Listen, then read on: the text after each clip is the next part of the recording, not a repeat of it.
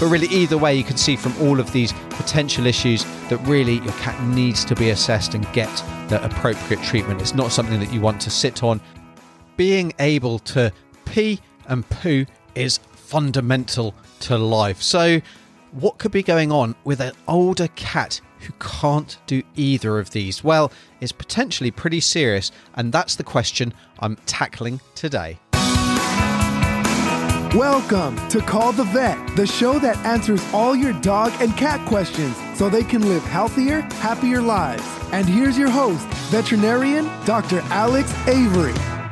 Welcome along. You're listening to episode number 57 of the Call the Vet show.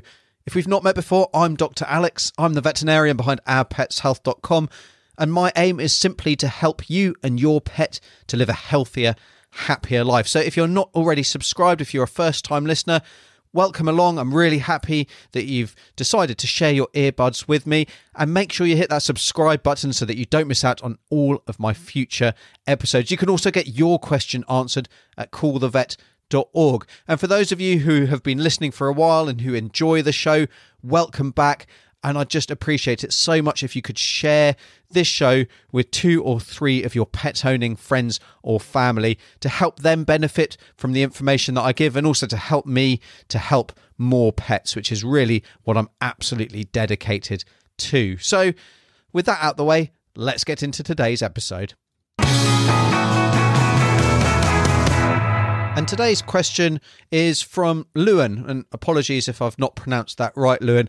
Um, but Lewin wrote in and said, uh, My cat's bladder was so full he could not eliminate waste. What is causing him not to be able to pee or poop? And he is a nine year uh, a 19 year old, I'm sorry, a 19 year old domestic short hair cat. So just your kind of standard moggy cat. 19 years old is an amazing age to get to. It's definitely um, longer than most. So Lewin's clearly been doing something right to take care of them for so long.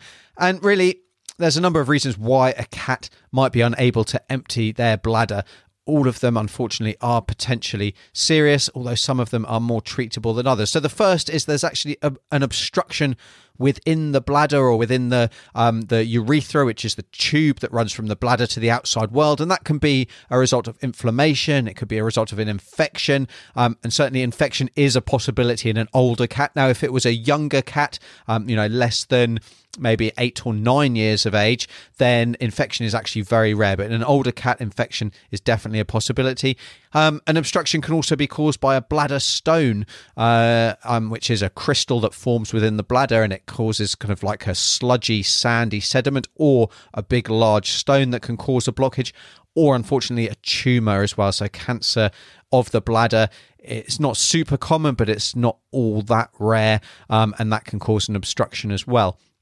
So the next reason for a cat not being able to empty their bladder, an older cat, is nerve damage, and that can be because of a number of different things. So trauma is going to be the main one here. Um, so a knock on the road, for example, um, or an injury such as what we'd call a tail pull injury, a tail pull event where maybe the tail's got trapped in something and has been yanked. Hopefully, not from actually someone grabbing the tail and yanking it, because that can really damage the nerves. It can rip all the nerves that um, then go to the bladder, and that causes a cat being unable to actually uh, empty their bladder. Next up, we have actually bladder muscle weakness. Now, this is often not something that happens as the primary cause, but it can happen if the bladder becomes very full for another reason. And actually it then becomes the bladder wall itself becomes really weak and floppy and it's unable to contract even when the original problem has been corrected. So an example um, would be if there's been an obstruction and the bladder's been really, really large for some time, or nerve damage and it's been large for some time, then even once that's corrected, it may be that actually the bladder isn't able to contract. And that's something that can potentially be treated. So, if that's the case, if the initial cause has been cleared, then this may be something that we need to think about uh, providing ongoing treatment for.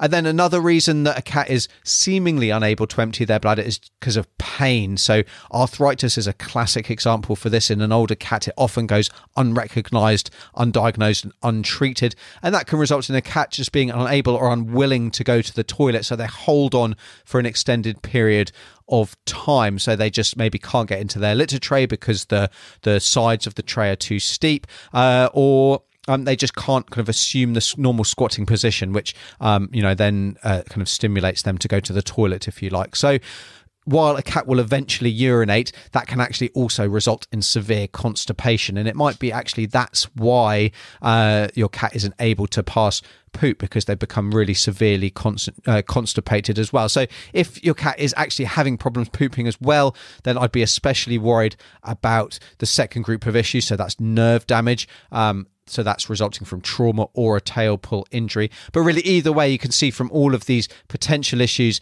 that really your cat needs to be assessed and get the appropriate treatment. It's not something that you want to sit on and try a few kind of home remedies, giving laxatives or giving um, some, you know, some other kind of natural treatment, whatever you may find with different advice online. You really need to get your cat assessed straight away by your vet, um, especially as a bladder obstruction is fatal very rapidly within 24 to 48 hours if it's not cleared. Um, and the other causes will result in pain um, and all kinds of different knock on effects, which really need to be addressed. So, I hope that helps answer your question, Luan. Um, you know, be prepared. The answer might not be might not be what we want to hear, but you know, we definitely need to make sure that your cat gets the care and the attention that they undoubtedly deserve.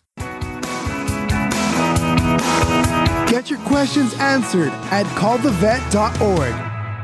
So that's it for this episode of the podcast. Make sure you're subscribed if you're not already.